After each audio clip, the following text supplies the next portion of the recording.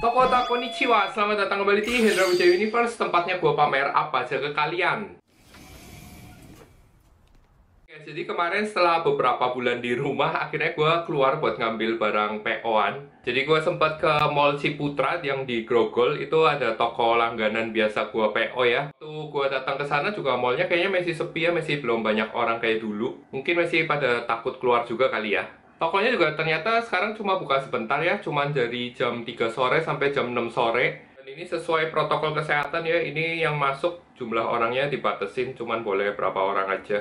Nah, jadi ini dia item yang gua ambil kemarin guys. SS Figuart Action Figure Best Selection Ultraman. Ultraman ini salah satu superhero favorit gue ya zaman tahun 90-an gitu, zaman masih bocil.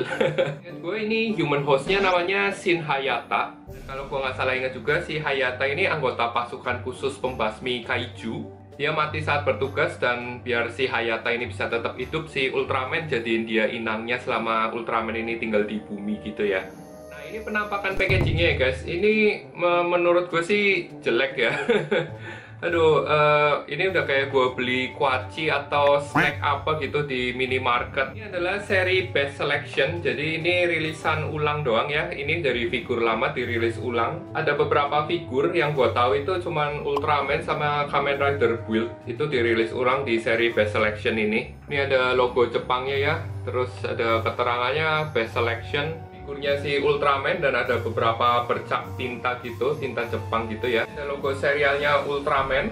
Keterangannya action figure best selection. Ada stiker hologramnya Tamashii Nation Quality. Bawahnya lagi ada logo SS Figure Art, logo Tamashii Nation, dan logo Bandai warna biru. Atasnya cuma logo SHF. Di bawah ada konteks support dari Bandai Spirit, logo hologramnya Suburaya Production untuk 15 tahun ke atas tampak samping kanan, tampak samping kiri. Belakang ini ada pose-pose khasnya si Ultraman. Ini waktu pertama dia baru berubah ya, pose khasnya. Dan ini waktu kalau dia habis selesai bertarung nih, dia terbang. Oke, itu aja sih untuk packagingnya. Langsung aja kita lihat sama-sama isinya guys. Come on. Yes, ini dia guys itemnya. SS Figuart Ultraman dari seri Action Figure Best Selection.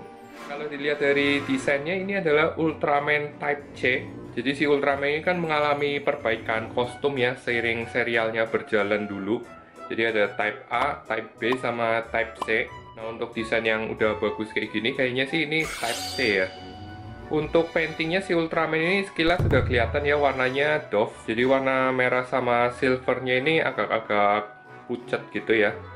Gue dapetnya beberapa defect cat ya nggak rapi bagian lengan kanannya ini malah offset ini catnya tapi it's okay. Ini gua nggak ada masalah sama itu ya. Untuk detailnya di bagian matanya ini ada clear part. Terus di dalamnya itu ada tekstur khas matanya si Ultraman. Jadi ini modelnya sama kayak Kamen Rider gitu ya matanya. Di bagian depannya ini ada titik abu-abu gitu kayak di filmnya tampilan suitnya ini gue suka banget guys. Jadi suitnya itu dibikin kayak peot-peot nggak rata gitu ya biar ada kayak kesan suit rubber gitu. Bagian sirip belakangnya ini juga dibikin seolah-olah kayak dua lapis karena di suit aslinya itu memang ada buat ngumpetin resleting ya yang ini di bagian dalamnya. Di dada ada color timer khasnya si Ultraman. Ini bahannya plastik biru clear gitu. Ini bisa diganti ya sama yang merah. Nanti gue kasih lihat di bagian aksesoris Nah ini yang gue nggak suka di bagian pinggangnya. Ini kayak ada jeda gitu ya antara pinggang sama perutnya. Jadi agak aneh aja gitu kelihatannya. Kayak berlubang.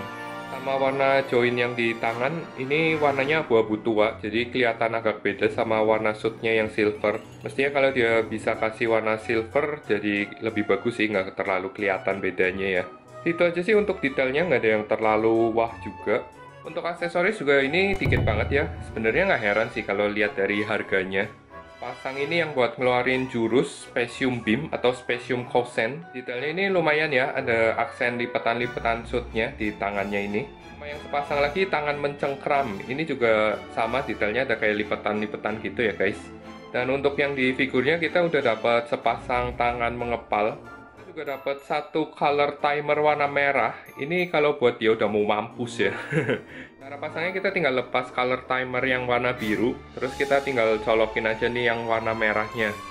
Nah, sekarat deh dia. kita coba artikulasinya. Ini kepala bisa tengok kanan tengok kiri. Bisa diajak senam. Bisa lihat ke bawah dongak. Terus ini siripnya part kepisah ya jadi nggak menghalangi waktu dia dongak ke atas. Tangan bisa diangkat sampai 90 derajat. Bisa diputer ada rotasi di lengan ada butterfly joint ada double joint di siku dan joint sikunya ini bisa sedikit diputer juga ya di pergelangan tangan juga ini ada artikulasi diputar dan naik turun.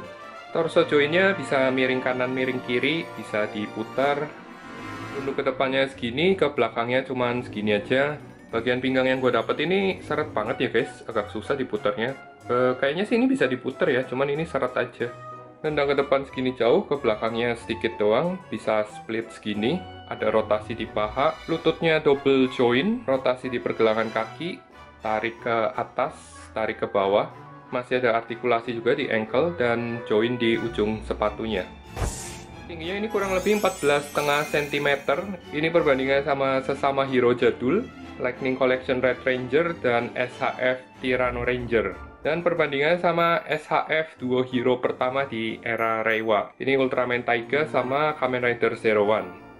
Ultraman ini gue PO ya, jadi harganya cukup murah. Ini nama toko sama kontak infonya. Jadi gue beli ini seharga 440.000, DP-nya waktu itu 150.000, jadi pas barangnya datang tinggal bayar 290.000 sisanya aja.